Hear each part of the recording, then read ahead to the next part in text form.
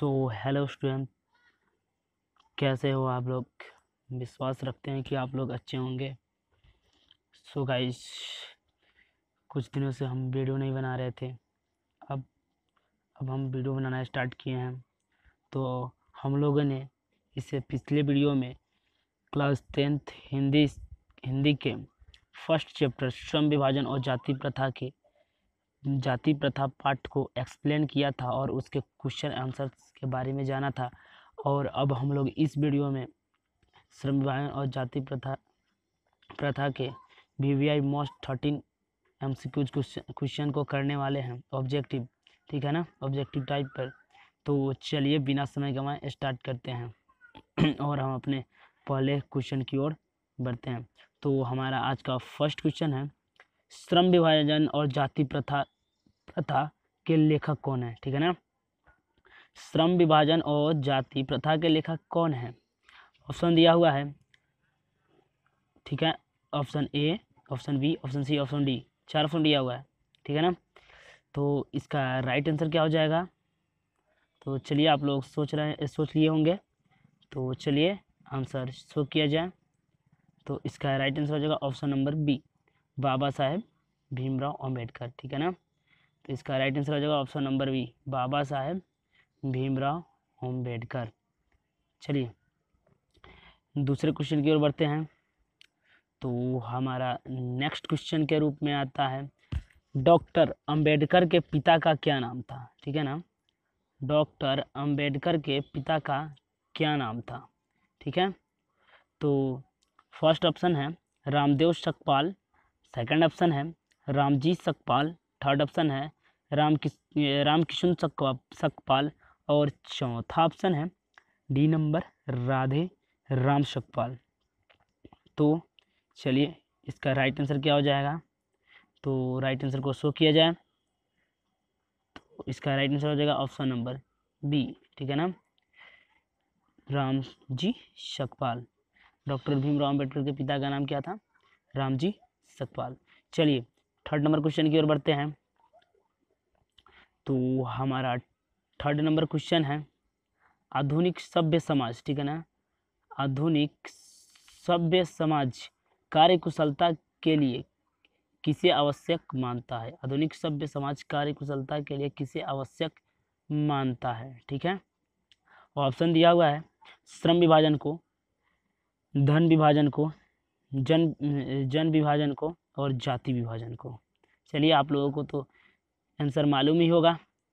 तो चलिए answer show करते हैं। तो आंसर शो किया जाए तो इसका राइट आंसर हो जाएगा ऑप्शन नंबर ए श्रम विभाजन को, ठीक है ना? Option number A is right श्रम विभाजन, ठीक है? चलिए, चौथे क्वेश्चन की ओर बढ़ते हैं। तो हमारा चौथा क्वेश्चन है, जाति प्रथा जाति प्रथा भारत में बेरोजगारी का एक प्रमुख कारण, एक एक क्या कौन सी कारण बनी हुई है, ठीक है ना? डॉट दिया हुआ है। तो इस जगह पे आप लोग जान ही रहे होंगे क्या होगा। तो ऑप्शन दिया हुआ है प्रत्यक्ष कारण, प्रमुख कारण एवं विद्यो ने तो आप लोगों को तो आंसर मालूम ही होगा। तो चलिए आंसर शो किया जाए।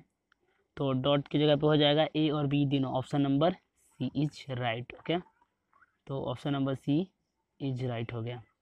चलिए, अगले क्वेश्चन की ओर बढ़ते हैं। तो अगला क्वेश्चन है मूक नायक क्या है? मूक नायक क्या है? ठीक है ना? नेक्स्ट क्वेश्चन है, मूक नायक क्या है? ठीक है ना? अखबार है, पत्रिका है, पुस्तक है, कहानी संग्रह है, ठीक है ना?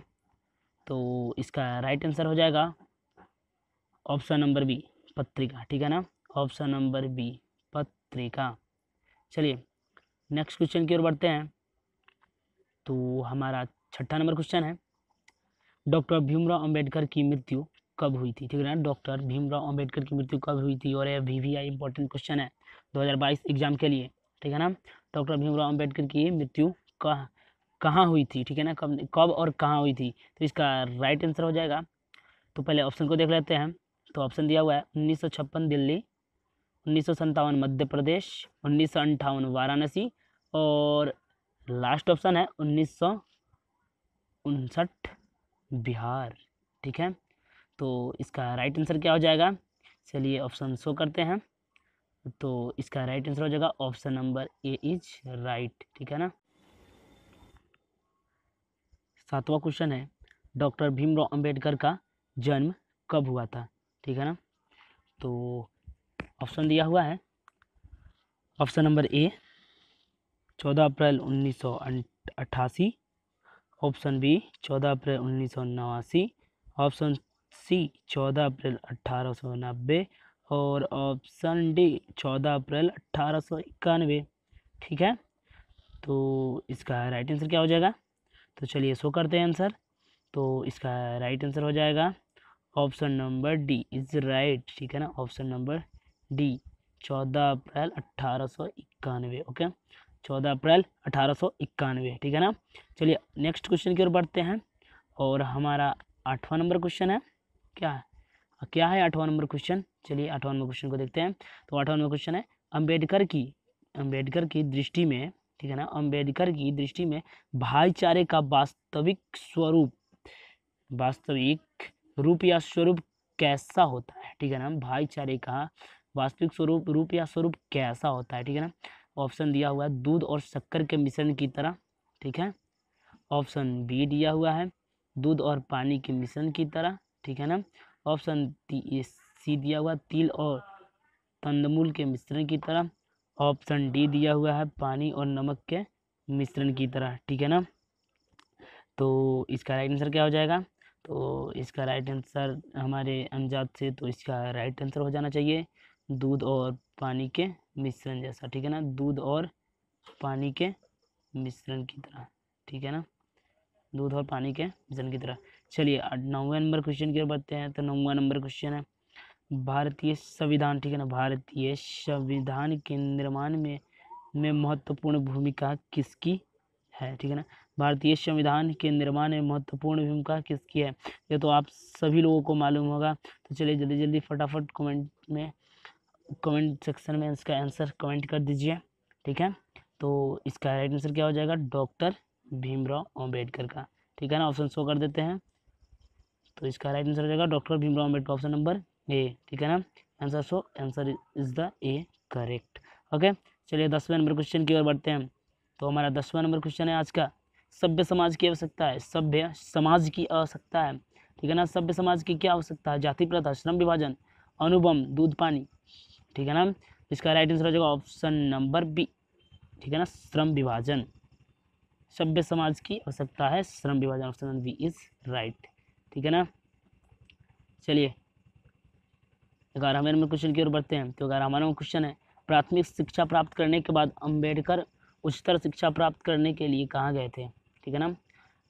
ऑप्शन है option number A Italy option number B Africa option number C New York और ऑप्शन नंबर डी दक्षिणी कोरिया ठीक है ना?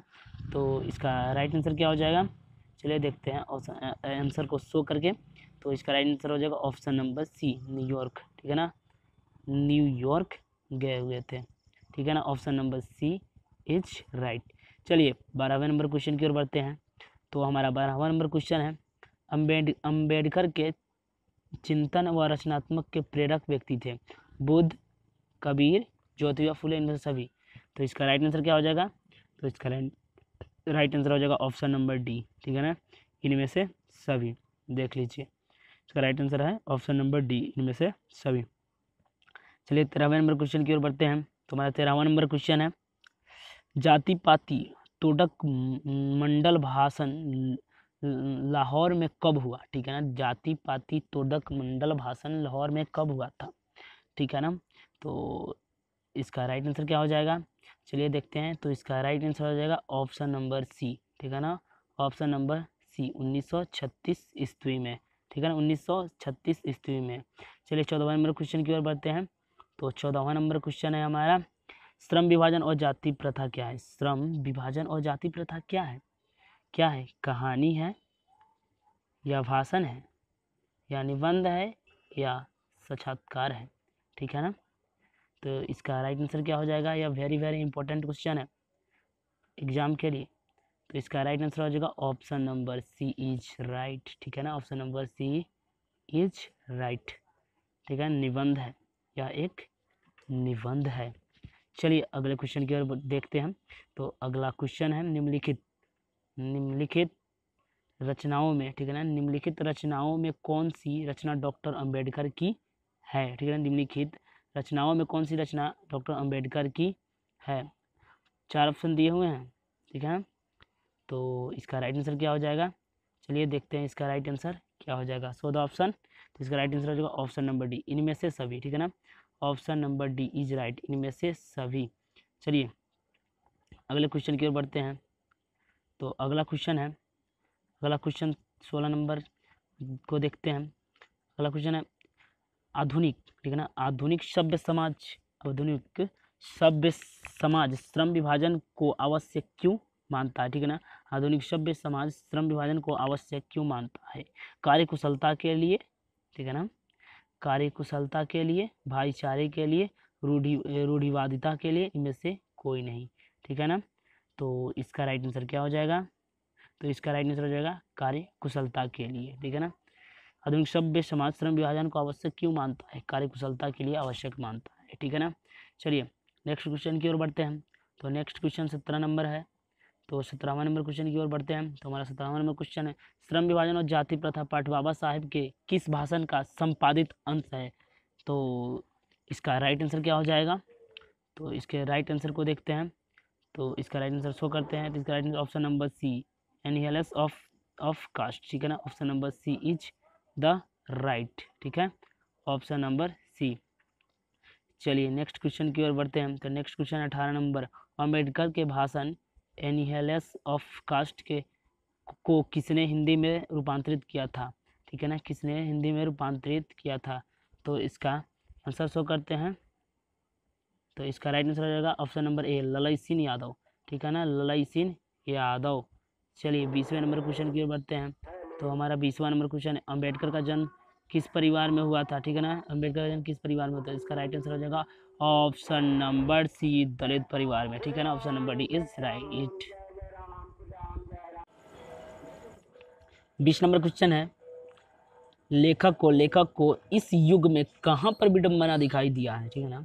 लेखक को इस युग में कहाँ पर विडम्बना दिखाई दिया हुआ है, ठीक है ना? ऑप्शन है जातिवाद में, नारीवाद में निर्विधवाद में और परिवारवाद में। तो इसका राइट आंसर शो किया जाए तो इसका राइट आंसर हो जाएगा जातिवाद में, ठीक है ना? जातिवाद में। चलिए, पहले क्वेश्चन की ओर बढ़ते हैं तो अगला क्वेश्चन है, डॉक्टर भीमराव अंबेडकर के माता का नाम क्या था? ठीक है ना? डॉक्टर भीमराव अंबेडकर के माता का नाम क्या था? ठीक है? तो इसका राइट आंसर हो जाएगा ऑप्शन शो करते हैं। तो इसका राइट आंसर होगा ऑप्शन नंबर डी भीमाबाई। ठीक है ना? भीमाबाई।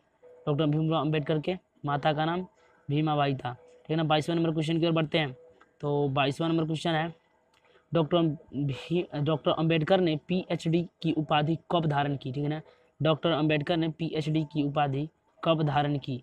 तो ऑप्शन दिया हुआ है 1920, 1918, 1916, 1914 तो चलिए इसका राइट आंसर शो किया जाए। तो इसका right answer option number C 1916 okay ठीक है ना? Option number C is right. चलिए तेईसवें नंबर क्वेश्चन की ओर बढ़ते हैं। तो तेईसवा नंबर क्वेश्चन है लेखक की दृष्टि में विडम्बना की बात क्या है? ठीक है लेखक की दृष्टि में विडम्बना की बात क्या है? तो इसका राइट आंसर क्या हो जाएगा? चलिए इसका राइट आंसर को देखते हैं। तो इसका राइट आंसर हो जाएगा, जातिवाद के पोस्को की कमी, ठीक है ना? जातिवाद के पोस्को की option number A is right चलिए, ठीक है ना? पच्चीसवें चौबीसवें नंबर क्वेश्चन की ओर बढ़ते तो चौबीसवा नंबर क्वेश्चन है। लेखक की दृष्टि में, लेखक की दृष्टि में आदर्श समाज कैसा होना चाहिए? जिसमें तो इसका ऑप्शन दिया हो, जिसमें स्वतंत्रता, समानता और भातृत्व का भाव होना चाहिए। ऑप्शन बी जिनमें सभी धनी हो, जिसमें सभी पढ़े लिखे हो ऑप्शन डी है। जिसमें सभी स्वस्थ हो। तो इसका राइट आंसर क्या हो जाएगा? तो इसका राइट आंसर शो करते हैं। इसका right answer option number A ठीक है ना? जिसमें जिसमें स्वतंत्रता, समानता और भातृत्व का भाव हो, ठीक है ना? चलिए अगले नंबर क्वेश्चन की ओर बढ़ते हैं। अगला नंबर क्वेश्चन है पच्चीसवां नंबर चलो, पच्चीसवा नंबर क्वेश्चन है। लेखक बेरोजगारी का प्रमुख और प्रत्यक्ष कारण कारण किसे मानता है? लेखक बेरोजगारी का प्रमुख और प्रत्यक्ष कारण किसे मानता है? अशिक्षा को, जनसंख्या को, जाति प्रथा को, उद्योग धंधे को। तो इसका राइट आंसर हो जाएगा option number C is right जाति प्रथा को, ठीक है ना? Option number C is right जाति प्रथा को। तो चलिए तो गाइस किसी कारण बस हम लोग बस यहीं पे वीडियो को एंड करते हैं। और आज ट्वेंटी फाइव क्वेश्चन को सॉल्व किए हैं। कल अगले वीडियो में हम लोग इसके नेक्स्ट चैप्टर का भी भी ऑब्जेक्टिव क्वेश्चन आंसर को सॉल्व करेंगे। चलिए, आशा करते हैं कि आप लोगों को हमारा वीडियो पसंद आया होगा। अगर आप लोगों को हमारा वीडियो पसंद आया हो तो चैनल को सब्सक्राइब बेल तथा बेल आइकन को दबा दें और हमारे वीडियो को लाइक करना ना भूलें। धन्यवाद।